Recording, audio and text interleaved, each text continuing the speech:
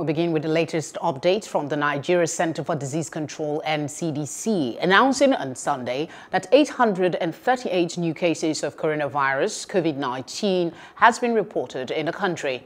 The center announced that 925,215 persons have been tested since the first confirmed case of the virus was reported on February 27, 2020. According to the center, the country has recorded a total of 84,414 cases and 1,254 fatalities since the pandemic began. The health agency also confirmed the discharge of 539 patients from isolation centers across the country, bringing the total recoveries to 71,034. It added that the FCT reported the highest number of new infections with 297 cases, while Lagos State, the epicenter of the virus, reported 253.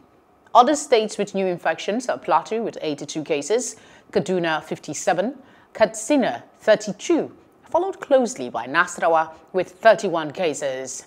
Kano came with 25 cases, Gombe 24, Oyo and Rivers 8 cases each, Zamfara 7, Ogun, Bauchi and Edo four cases each, while Anambra and Sokoto one case each.